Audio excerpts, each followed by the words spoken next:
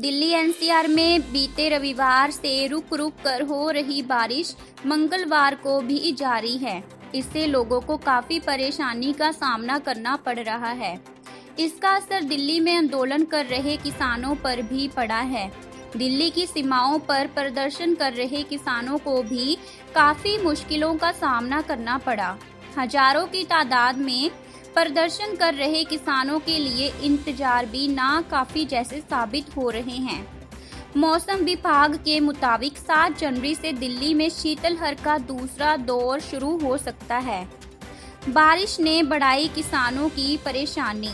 मौसम विभाग के मुताबिक दिल्ली में सर्द मौसम जारी रहने का साथ साथ न्यूनतम तापमान 11 डिग्री और आर्द्रता का स्तर 100 प्रतिशत रहा। मौसम विभाग ने कहा कि शाम ढलते ढलते तापमान और गिर सकता है। अगले दो दिनों के लिए मौसम विभाग ने ऑरेंज अलर्ट जारी कर दिया है। दिल्ली में 6 जनवरी की दोपहर से मौसम साफ़ होने की उम्मीद है, लेकिन ठंड से राहत नहीं मिलेगी। धन्यवाद जी।